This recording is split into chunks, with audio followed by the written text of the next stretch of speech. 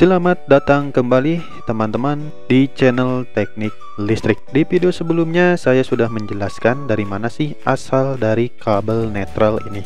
Sekarang saya akan menjelaskan apa sih beda kabel netral dan kabel grounding. Yang sudah jelas yang ada di instalasi rumah. Ini adalah jalur jaringan dari PLN ke rumah kita.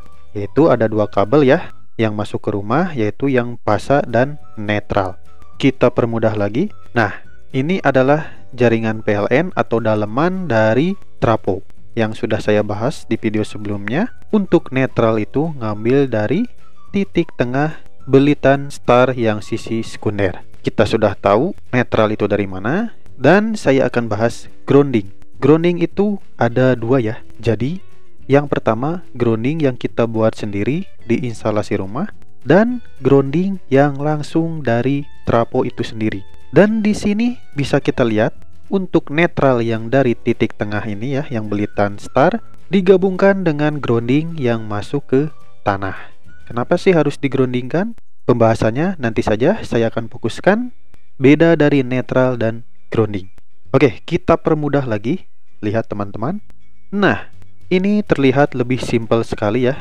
Jadi, ini dari jaringan PLN dan ini yang berada di instalasi rumah kita. Saya contohkan, jadi untuk pasa netralnya di sini saya ambil dari pasa P dan netralnya ngambil dari titik tengah belitan star trapo.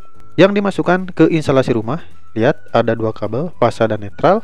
Lalu di sini dimasukkan ke MCB box yang di mana kita hubungkan langsung ke stop kontak. Jadi dari MCB box ke stop kontak lalu ke beban kulkas. Saya contohkan di sini bebannya kulkas. Bisa kita lihat teman-teman di kWh meter itu untuk grounding itu disatuin. Kenapa sih harus disatuin? Pembahasannya nanti saja. Kita fokuskan di netral dan grounding. Di MCB box ini digabungkan juga dengan grounding dari kWh meter dan dimasukkan langsung ke tanah. Nah, yang jadi pembahasan kita kali ini apa sih bedanya netral dengan grounding. Di sini ada dua grounding yang dimasukkan ke tanah. Jadi fungsi dari kabel netral ini yaitu sebagai arus balik dari trapo yang mengalir ke beban lalu balik lagi ke trapo dalam kondisi normal. Nah, terus fungsi grounding apa? Grounding itu berfungsi sebagai pembawa arus bocor dari instalasi rumah yang dimasukkan ke tanah lalu dikembalikan lagi ke trapo. Oke, saya akan bahas lebih simpel lagi supaya teman-teman paham. Nah, teman-teman bisa dilihat ini adalah aliran arus yang dari trapo balik lagi ke trapo. Perlu diingatkan, suatu rangkaian instalasi rumah akan ada arusnya jika instalasi rumahnya berbeban. Contohnya, di sini saya menyalakan kulkas. Otomatis untuk kulkasnya menyala dan ada beban di instalasi rumah. Maka dari itu arusnya mengalir dari trapo sini lihat, dari trapo sini langsung masuk ke kulkas. Kulkasnya menyala dan membalikan arus ke trapo. Ini adalah rangkaian instalasi rumah yang normal tanpa ada masalah. Jadi fungsi netral sudah Lihat kan teman-teman, untuk membalikan arus ke trapo. Bayangkan di sini jika tidak ada kabel netral, maka yang akan terjadi si kulkas ini tidak akan menyala, hanya tertahan di sini. Itu pun tidak akan ada arus karena netralnya tidak ada. Tegangannya hanya sampai stop kontak saja kalau tidak ada kabel netral. Oke, selanjutnya kabel grounding. Kabel grounding itu seperti yang sudah tadi saya bahas, sebagai pembawa arus bocor yang berada di instalasi rumah. Intinya mah instalasi rumahnya ada masalah gitu ya. Ada yang bocor. Jadi dibalikinnya sama si grounding ini. Lihat teman-teman untuk jalur arusnya. Saya contohkan di kulkas ini mengalami arus bocor atau yang sisi pasanya ini terkelupas dan terhubung ke bodi kulkas. Apa yang terjadi lihat?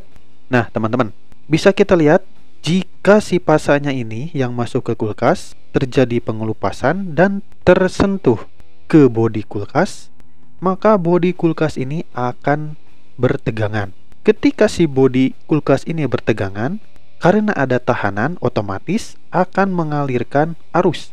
Dan arus pun dari pasa yang bocor ini dari bodi kulkas mengalir ke grounding. Lihat, mengalir ke grounding lalu dimasukkan ke tanah. Dari tanah sini langsung balik lagi ke trapo sini. Karena tujuan arus itu dari trapo ya balik lagi ke trapo. Nah, sudah jelas kan teman-teman fungsi dari grounding itu pembawa arus bocor. Sehingga kalau groundingnya ini sangat sempurna di bawah 5 ohm, jadi ketika kulkas bertegangan akan otomatis jika kita pegang tidak akan tersetrum. Penjelasannya sudah saya share di video sebelumnya. Nah, di sini kan ada yang masuk ke kWh meter arusnya nih, teman-teman. Nah, inilah fungsi dari penggabungan netral dan grounding di kWh meter. Ini sudah sistem yang dianjurkan PLN.